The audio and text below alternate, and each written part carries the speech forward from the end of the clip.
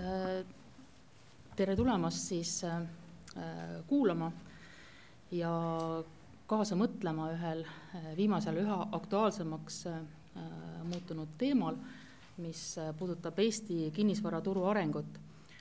et seda teemat puudutas Eesti Pank aprillis toimunud pressikonverentsil, kus tutvustasime värsket finantsstabiilsuse ülevaadet ja, ja täna me siis äh, üritame koos kolleeg äh, Mari Tammega seda kitsamat äh, kinnisvara teemat natukene rohkem avada.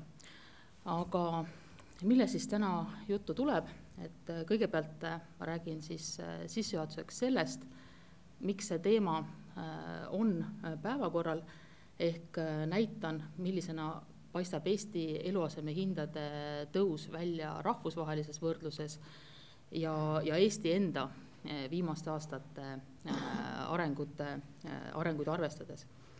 seejärel räägin Eesti eluasemehindade kasvu mõjutavatest pika- ja lühiajalistest teguritest, siis Mari räägib lähemalt laenuturu rollist, kuna, kuna finantsstabiilsuse võtmes on see kindlasti üks oluline riskihinnanguid mõjutav tegur ja, ja lõpetuseks me siis räägime kinnisvarahindade kasvuga äh, kaasnevatest riskidest äh, finantsstabiilsusele. aga alustuseks siis mõned pildid, mis illustreerivad hinnakasvu arengut Eestis ja, ja tõepoolest, Eestis on eluasemehinnad viimastel aastatel kasvanud väga kiiresti. näiteks Euroopa Keskpanga andmete põhjal saab äh, välja tuua, et äh, kui vaadata kolme aasta äh, perioodi ehk siin joonisel toodud siis arengut horisontaalteljel, siis on näha, et Eestis on eluasemehinnad kasvanud kõige rohkem. ja samamoodi, kui me vaatame ka lihtsalt viimase aasta arenguid, ehk siis seda arengut siin joonisel vertikaalteljel, siis me samuti näeme, et, et hinnakasv on olnud kõige kiirem püsivalt äh, kiire hinnakasvu osas on, on Euroopa Liidu riikidest veel viimasel ajal esile tõstetud äh, eriti Austriat, aga ka kindlasti Rootsit, äh, Suurbritanniat. ja siin joonisel te leiate ka näiteks Läti, aga Lätis peab ütlema, et siin viimastel kvartalite lõikes on see kasvanud üsnagi heitlik, vähemalt meile kättesaadavatel andmetel ja siin ka Euroopa Keskpanga statistika andmetel on näha aga äh, kolme aasta äh, võrdluses on siiski äh, ka Lätis hinnakasv olnud üsna tugev. aga nüüd huvitav on märkida, et, et eluaseme hindade areng Eestis on olnud mõnevõrra erinev, kui see on olnud teistes Balti riikides. me võrdlesime hinnakasve Balti riikide pealinnade korteriturul mis, mis võiks äh, homogeensuse mõttes olla justkui kõige, kõige paremini võrreldavad. ja kui äh, siin vasakpoolsel pildil on siis hästi näha, et Tallinnas on äh, Tallinna korteriturul on hinnad kõige madalamast punktist, ehk siis mis oli kahe tuhande üheksanda aasta kolmandas kvartalis, on hinnad kasvanud märkimisväärselt kiiremini kui Riias ja Vilniuses ja samuti lähenemine buumiaja äh, tippude tasemele on toimunud äh, märksa kiiremini. sellele joonisele me lisasime ka Rootsi äh, Stockholmi korterihindade kasvu, seda just seepärast, et me oleme nendel arengutel oma silma rohkem peal hoidnud. Ja, ja riskihinnangutes on kindlasti see üks, üks oluline, oluline aspekt, millele, millele tähelepanu pöörata ja, ja eriti äh, vääriksin tähelepanu see parempoolne pilt äh,, kust on toodud siis, kus on toodud hinnakasvud alates kahe tuhande viienda aasta algusest. ja siin te näete, et Stockholmis on korterite hinnad äh, kasvanud rohkem kui Balti riikide pealinnades. seejuures siis arvestades ka Balti riikides toimunud kinnisvarabuumi ja, ja sellele järgnenud korrektsiooni ja siin peab muidugi ütlema, et äh, Stockholmis on äh, korterihindade kiire kasv äh, jätkunud, veel näiteks märtsis oli korterite keskmine aastakasv kolmeteist protsendi juures. aga kui tulla nüüd ikkagi fokusseeritumalt Eesti arengute juurde, siis kui vaadata nii tehingute arvu arengut kui, kui hinna arengut, siis me võime kindlasti öelda, et tegemist on järjepideva turu elavnemisega tehingute arvu kasv on äh, siiski olnud mõnevõrra äh, mõõdukam kui äh, hinnakasv. tehinguid eluasemeturul tehakse täna ikkagi märksa vähem, kui, kui seda tehti buumi ajal. korterite mediaanhinna kasv eelmisel aastal oli üle kahekümne protsendi ja, ja ka sellel aastal on jätkunud Äh, vägagi kiire äh, kasv. loomulikult me saame öelda, et, et täna on endiselt äh, hinnad buumiaja tippudega võrreldes Eestis tervikuna kuskil kakskümmend protsenti madalamad, Tallinnas on see vahe neliteist protsenti. aga, aga samas ikkagi selle joonise põhjal ei tohiks teha väga kiireid automaatselt järeldusi, et, et meil justkui kasvuruumi on, on kõvasti, kindlasti tuleks äh, tähelepanu pöörata ka sellistele lühiajalistele äh, kiiretele äh, kasvudele ja, ja, ja vaadata ka kooskõla äh, majanduse makronäitajatega ning struktuursete arengutega, mis siin selle perioodi jooksul on toimunud.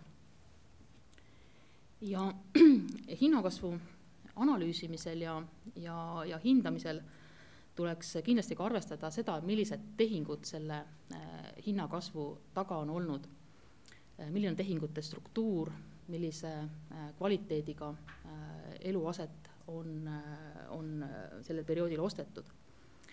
viimastel aastatel me näeme, et, et kiirem hinnakasv on toimunud Eesti kõige suuremates linnades, Tallinnas, Tartus, Narvas. sellel joonisel on toodud ka kaks äh, teist äh, linna, Pärnu ja Kuressaare, siin te näete, et see hinnakasv on olnud äh, märksa tagasihoidlikum. ja kui vaadata Tallinnas linnaosade lõikes, siis kahe tuhande üheteistkümnenda, kahe tuhande teist-, kahe tuhande kaheteistkümnenda aasta kasvusid mõjutas ka suuresti just struktuurne areng. see tähendab, et tehinguid tehti Äh, suhteliselt rohkem kallimate kesklinna korteritega ja, ja uute korteritega. ning äh, kui vaadata siin äh, Mustamäe hinnakasvu, siis, siis see on olnud tol perioodil veel suhteliselt tagasihoidlik. samas jällegi, kui me vaatame kahe tuhande kolmeteistkümnendat aastat, siis see on toimunud selge trendi muutus, hinnakasv on muutunud laiapõhjalisemaks hinnakasv on äh, kandunud mägedele. ja, ja muidugi siin äh, paistab hästi silma, et, et äh, meil siin on väga populaarseks osutunud Põhja-Tallinn, kus on siis olnud kõige, kõige tormilisem see hindade kasv.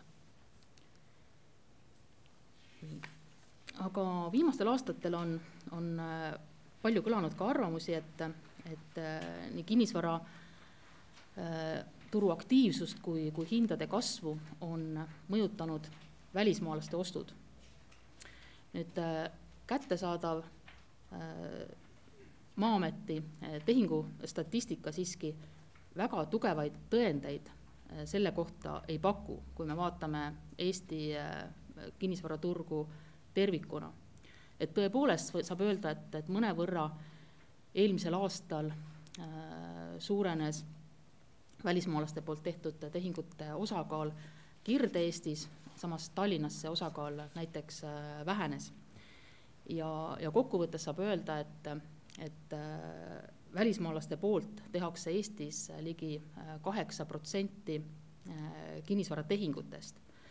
seejuures siin välismaalaste hulka on selles statistikas arvestatud ka siin alaliselt elavad, aga kodakondsuseta isikud ehk siis äh, tegelikult äh, see, see mõjutab üsna, üsna oluliselt ka, ka seda Kirde-Eesti äh, tehingute struktuuri.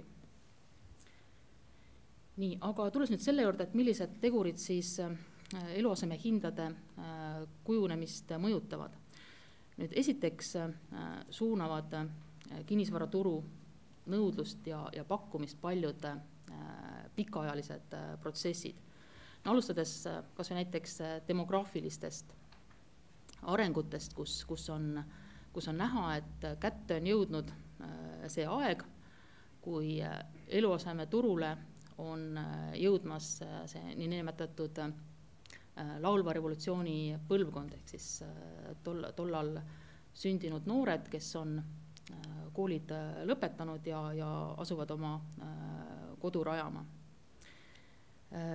uutest tehingutest suur osa sõlmitaksegi täna just noorte perede poolt, siin tõenditeks on äh, on äh, kontaktid pankadega, kui, kus siis eluasemelaenu lepingutest äh, suur osa siis sõlmitakse äh, noorte inimeste poolt ja, ja võib-olla ka KredExi käenduste statistika, mida, mida hiljem Mari näitab, ka, ka justkui sellele viitab.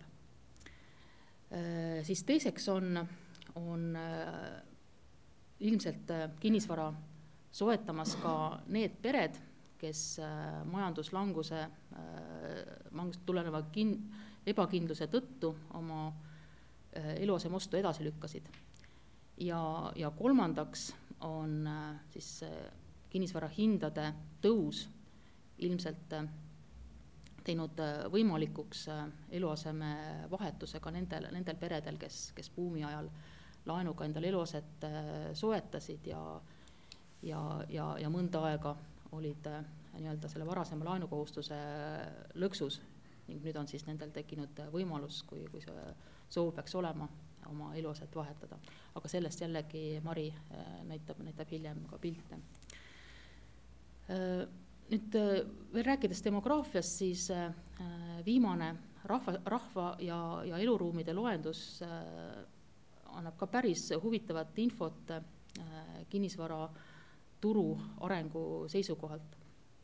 ja, ja üks, üks pilt võib-olla selle kohta, et, et siin viimase noh, rahvaloenduste vahelisel ajal, kümne aasta jooksul, Eestis leibkondade arv suurenes kolm protsenti, samal ajal kui rahvastik vähenes viis protsenti.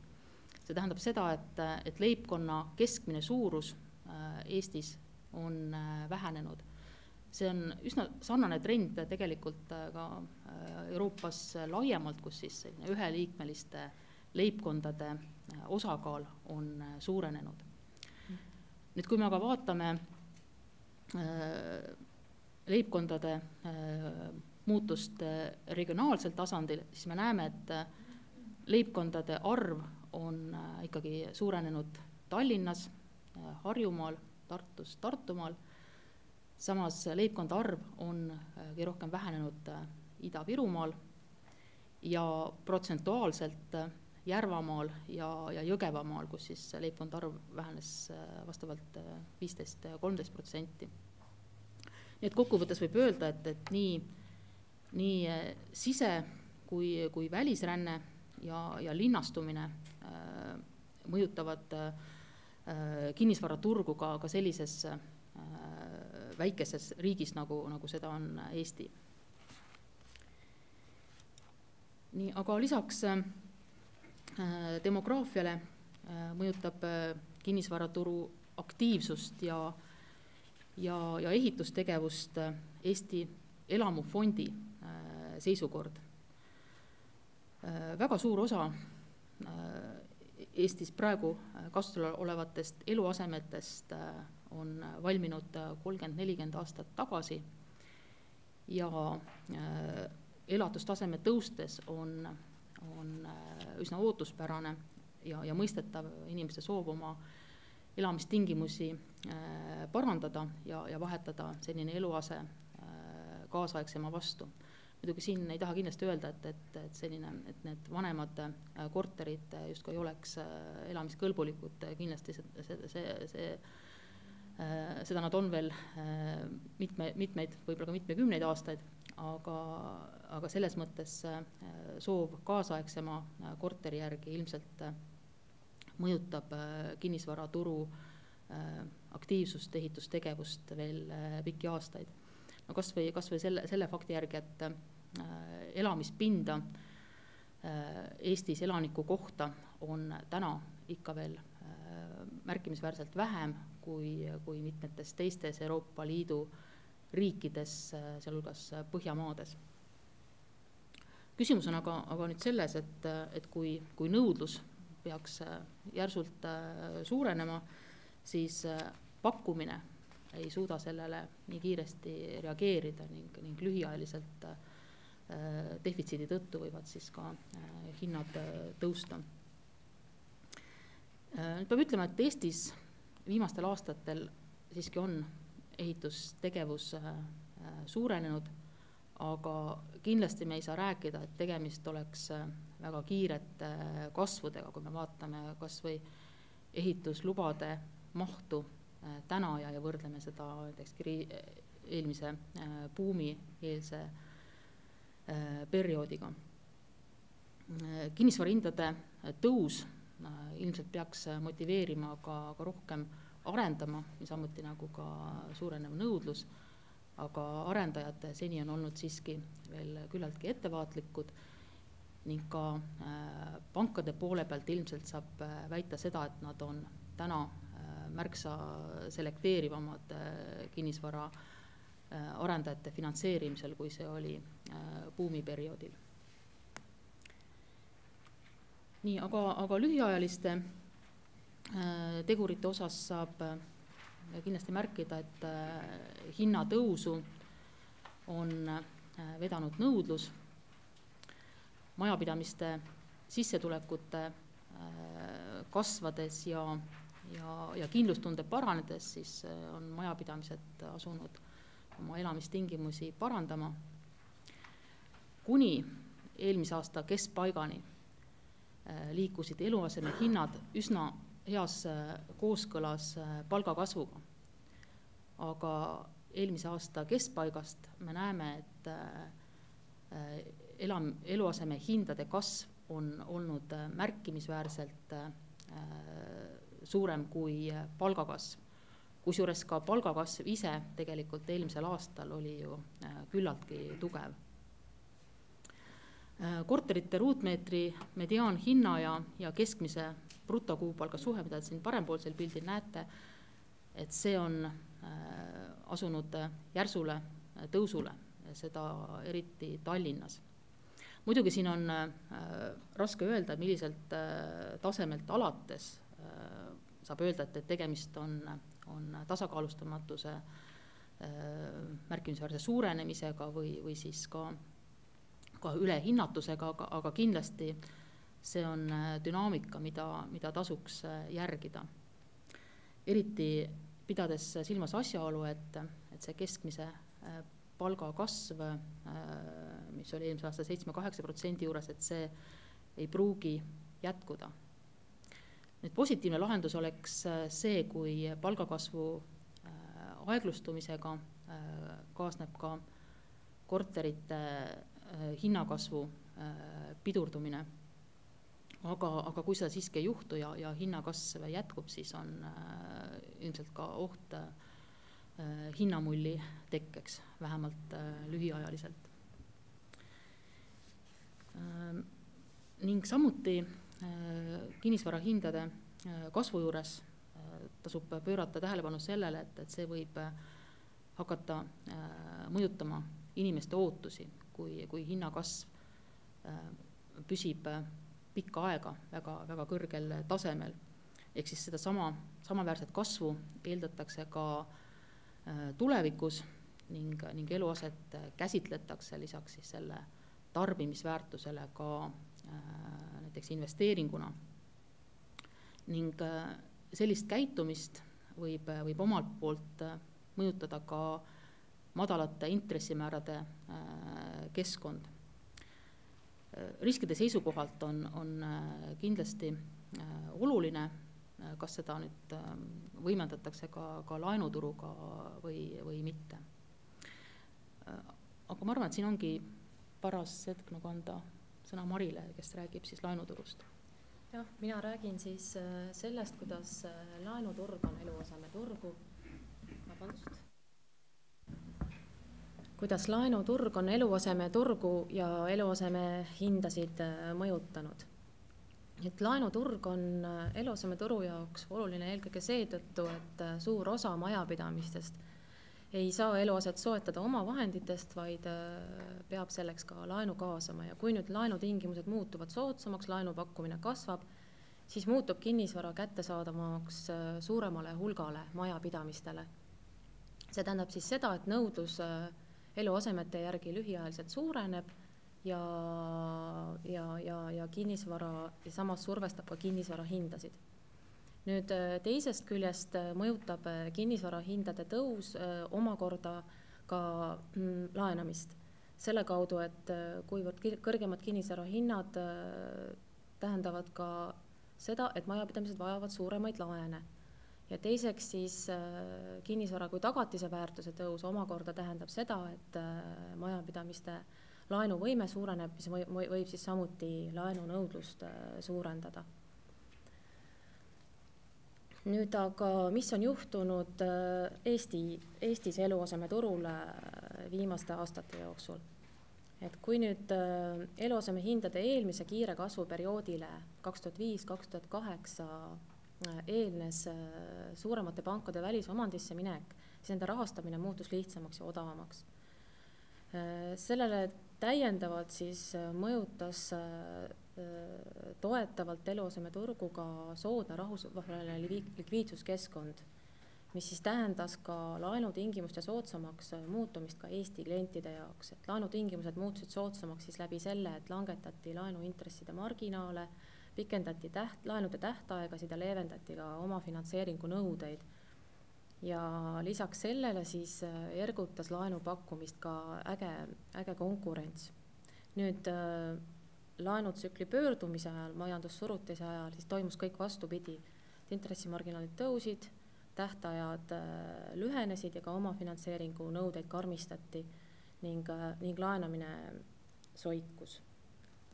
nüüd äh, viimase paari aasta jooksul eluasemeturu elavnemise perioodil on siis olukord selline, et keskmine eluasemelaenu intressimäär on tänu baasintressile kõigi aegade madalaim.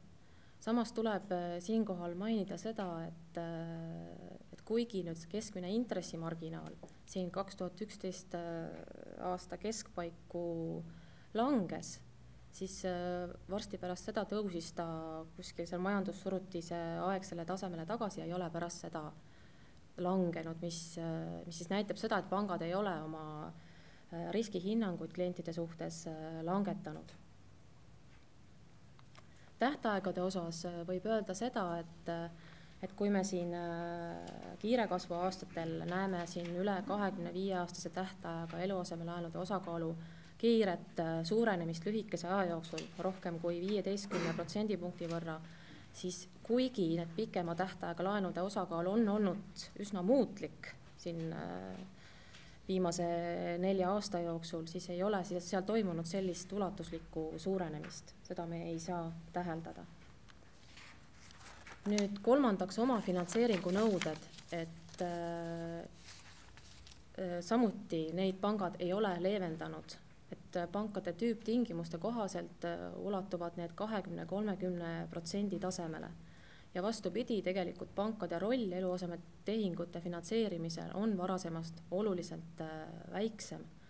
et äh, kui me siin äh, kõrvutame uute eluasemelaenude käibeid ja eraisikute kinnisvaratehingute väärtust, siis me näeme, et et, et nende osakaal tehingute väärtusest on tunduvalt madalam kui siin varasematel, varasematel aastatel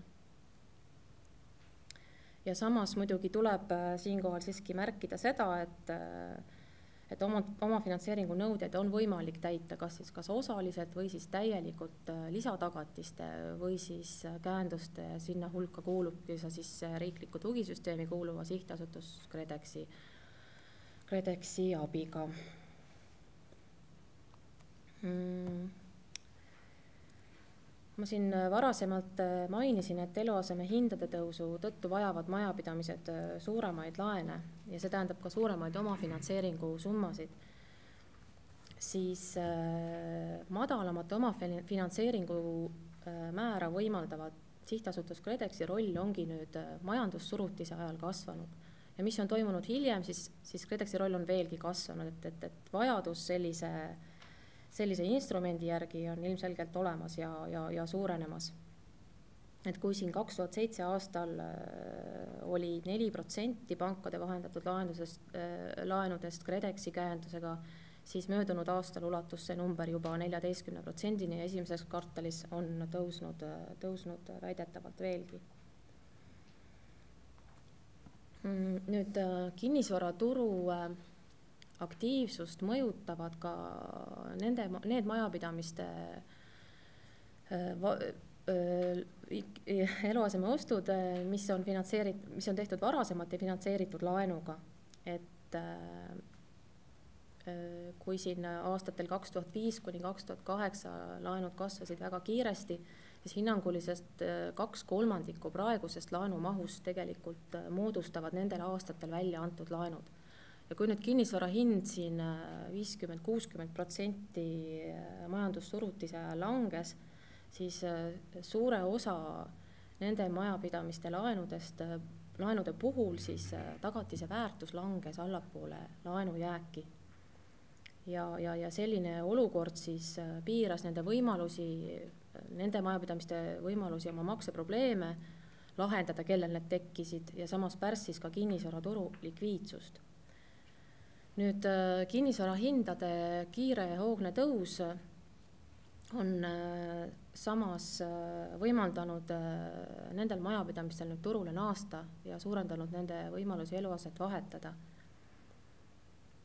et kui me vaatame siin keskmiste, kesk, kui me, kui me teeme sellise lihtsa arvutuse keskmiste korterihindade põhjal, siis me võime järeldada, et äh, kahe tuhande kolmeteistkümnenda aasta lõpus saavutasid siis sellise positiivse kapitali ehk siis nende tagatise väärtus ületas laenujääki ka need, nende majapidamiste puhul, kes olid siis laenu võtnud äh, kaks tuhat seitse aastal, kui, kui hinnad olid, olid oma senises tipus.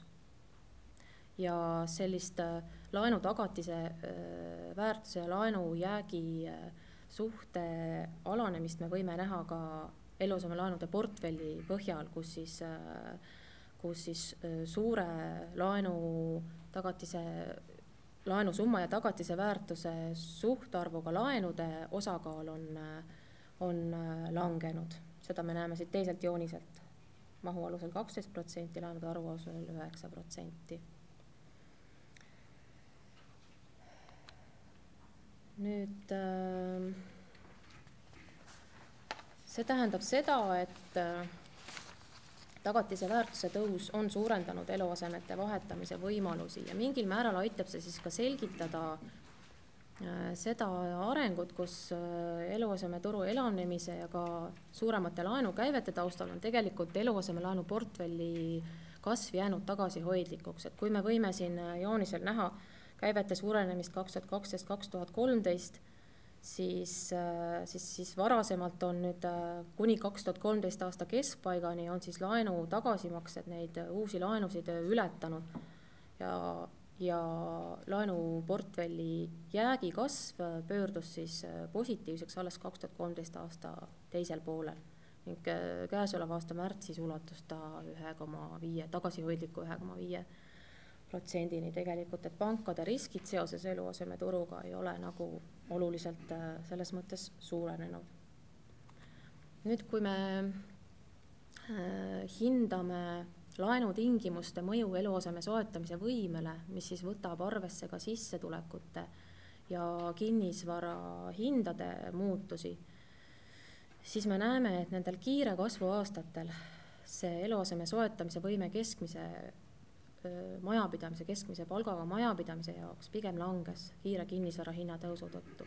nüüd majandussurutise ajal see soetamise võime kiiresti kasvas ja selgelt on siin näha ka kaks tuhat kaksteist aastal muutus seoses baasintresside taseme langusega. et selles mõttes võib nagu üsna ootuspäraseks seda arengut pidada, kus majapidamised on oma kindlustunde suurenemise, sissetulekute suurenemise ja siis ka madalate intresside keskkonnas asunud oma nagu elamistingimusi parandama. aga samas äh, on näha ka siin äh, kiire hinnatõusu mõju eelmisel aastal, kus siis eluaseme soetamise võime on siiski, on jälle vähenenud nüüd seda e-, eelnevat juttu kokku võttes, siis võiks, äh, võiks siis nimetada ära need kinnisvarahindade kiirest kasvust tingitud riskid finantsstabiilsusele, et et praeguses olukorras on see kinnisvarahindade kiire kasv ohuks eelkõige selle tõttu, et see võib viia kinnisvaraturul ülehinnatuse tekkele ja mullistumisele et kui siin hindade kiire kasv püsib pikemat aega, siis see tekitab ühiskonnas selliseid ootusi, et selline hindade kasv jätkus ka edaspidi. ja kui nüüd samal ajal siis neid äh, palgakasvu ootusi samuti üle hinnatakse, siis on jällegi oht, et riske, mis kaasnevad selle eluaseme investeeringute ja, ja laenuraha kaasamisega, jälle hinnatakse alla seda enam, et, et intressid on hetkel niivõrd madalad. nüüd seni oleme me näinud seda, et et pankade roll on eluasemetehingute finantseerimisel jäänud varasemast tagasihoidlikumaks ja majapidamised on teinud varasemast rohkem investeeringuid omavahendite arvelt. pangad ei ole laenutingimusi leevendanud. nüüd edaspidi ongi oluline, et, et kui nüüd see laenunõudlus peaks veelgi suurenema et, pangad siis seda laenutingimuste leevendamisega täiendavalt ei võimendaks. pangad peaksid siis jätkuvalt tagama, et laenuvõtja omafinantseering ja ka nende laenu teenindamise võime oleksid, oleksid piisavad. ja siinkohal on ka Eesti Pangal võimalus või õigus siis vajadusel kehtestada pankadele nende laenutingimusi reguleerivaid nõudeid. et see on siis laenu Äh, LTV ja LTI ehk siis äh, äh, laenu tagatise väärtuse, laenu summa suhe ning laenu summa ja sissetulekute omavaheline suhtarv. nüüd ütlesin õiget pidi, ma loodan. esimene läks valepidi. esimene läks valepidi, siis laenu, see on siis laenu summa ja laenu tagatise omavaheline suhe. LTV jah, et siinkohal ma annaks siis sõna edasi Jaanale, et äh, kes siis võtab selle kõik kokku et äh, seal, et viimase slaidi me lisasime tänasesse ettekandesse, et, et näidata, äh, kui kõrgeks Eesti Pank Eesti eluaseme hindade kiire kasvuga seotud riski finantsstabiilsusele hindas võrreldes nüüd teiste, teiste peamiste riskidega. võib öelda, et et äh, finantsstabiilsuse riskid Eesti Panga hinnangu kohaselt on jätkuvalt enamjuhul äh, väikesed, äh, kuivõrd majapidamiste ja ettevõtete finantsseis on viimastel aastatel järjepidevalt paranenud ning pankade likviidsus ja, ja kapitalipuhvrid on piisavalt kõrgel ehk siis see tähendab seda, et majandus ja, ja, ja finantssektor peaksid suutma võimalikele šokkidele hästi vastu seista. aga välja said siis äh, riskihinnangus tõstetud kolm äh, peamist riski ja, ja nagu te nendest värvidest näete, siis neid riske me oleme hinnanud äh,, ütleme, nende riskide tase on äh, keskmine. et esimene risk siis äh, Põhjamaade kinnisvara hindade ja majapidamiste laenukoormuse kasvu ja siis sellega seotult pankade rahastamise haavatavusega seotud riski, seda me pidasime Eesti finantsstabiilsuse seisukohalt kõige olulisemaks. nagu loengu alguses sai näidatud, siis riskide kuhjumine Rootsi eluasemeturul on jätkunud, mis tähendab ka seda, et ka finantssüsteemis riskide kuhjumine on jätkunud aga samas äh, Rootsi keskpank ja, ja finantsjärelevalveasutus tegelevad äh, väga aktiivselt selle äh, riski ohjamisega. teine risk seoses Ukraina sündmustega on suurenenud väliskeskkonna halvenemise risk. ja, ja tähtsuselt kolmas risk ongi seotud Eesti kinnisvarahindade kiire kasvuga, mis võib hakata mõjutama majapidamiste ootusi ja, ja siis põhjustada finantssüsteemis riskide kuhjumist. selle riski taset me tõstsime võrreldes eelmise sügisega kuid risk siiski, nagu te näete, on keskmisel tasemel, kuna, kuna pankade, pangad ei ole laenukampaaniates asunud laenu standardeid või tingimusi leevendama ja siis ei ole nagu sellega omalt poolt eluase, eluasemehindade kasvu õhutanud nii, aga sellega me omalt poolt äh, lõpetame, et kui on küsimusi, siis need on väga teretulnud